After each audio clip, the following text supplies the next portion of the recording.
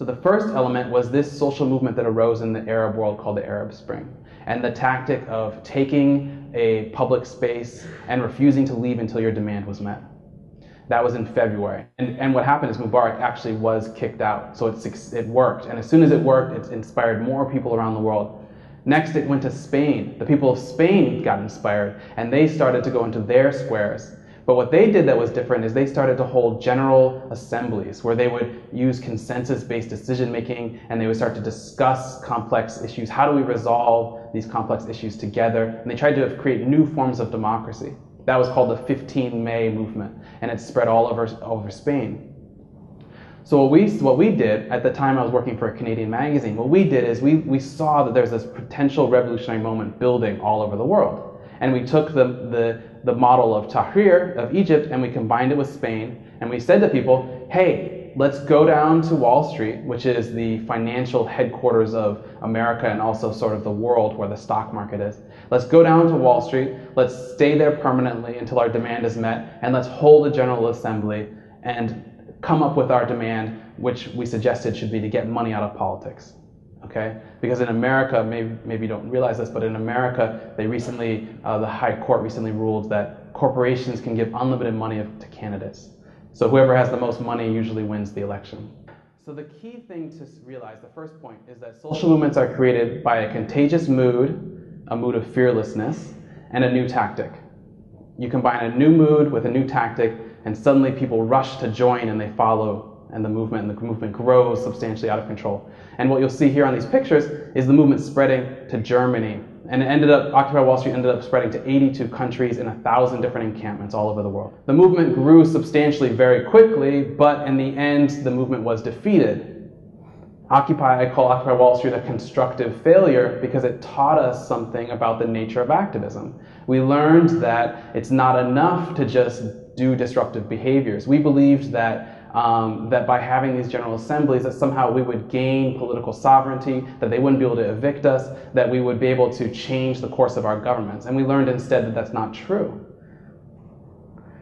So what we need is a deeper and more comprehensive understanding of the nature of social change. And what I want to present to you is kind of a, a, a way of thinking about activism that I think will help you create social movements. Okay, so imagine a grid okay? And there's one side, one spectrum from left to right is subjective, and the other side is objective. So this is the this is this means on the one side um, that forces are subjective, which is inside of human human human control, human mind, or objective, outside of human control, outside of the human mind. Okay, so if you make a grid out of these points, it creates four different options that I think help people understand about activism. In the lower left-hand corner, which is the idea that, that activism is a subjective in process involving humans and a natural phenomenon involving the material world, we get the dominant notion of activism, which is voluntarism. This is the idea that we have to create actions, human actions are what create change. So to, in order to, to, to create change, you need large numbers of people doing synchronized behaviors like marching or occupying. This is perfectly exemplified by this photo, right? We were able to convince these thousands and thousands of people to go into the streets on a certain day with signs and start to make demands because we believed that that would create social change. So that's called voluntarism.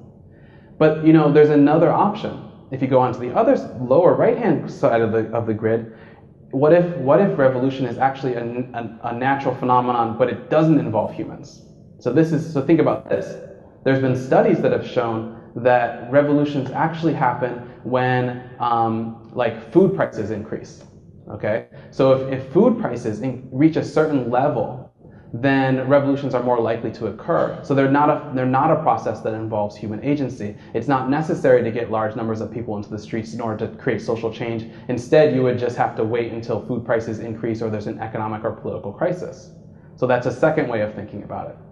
So that's the kind of like theoretical um, basis that I want you to think about is how to think about activism from those four perspectives. It's not about, I think it's really important not to just pick one of the four, but instead to think about movements from all of the four perspectives. Um, so, so, the, so the idea would be how to voluntarism, how to get people to do large, do synchronized behaviors, structuralism, how to learn what kind of economic situation is is um, beneficial for dramatic social change. subjectivism, which is the idea that how are we going to get people to suddenly change their ideas in mass.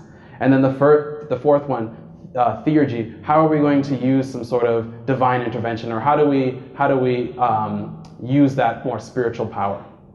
Protest has become something that is expected. It's just something that's part of the process of doing politics. Politicians know that there's going to be protests, so that when the protests happen, it doesn't matter. Uh, but as to your second question, you know, this idea that, well, if they had something to lose, I'm also a little bit skeptical of that interpretation. I think for, for me, it's more of a question of thinking, well, how do the protesters become the ones in power? How do we reorient back to the, the fundamental problem, which is we have something that we want, and how do we get it? You know, so for example, in Bali, you have this this land reclamation movement. You know, stop the reclamation, or stop the takeover of this land. Well, how do you get to be in a position where you can be the force who stops it? Because you're the ones who are in control of the decision. That, I think, is the fundamental question. It's a question of sovereignty, basically. Um, and so I think you're right on to observe that people in power don't need to listen to protests. And I think that the next step then is to think, well, how do we become the ones in power? Thank you. Thank you.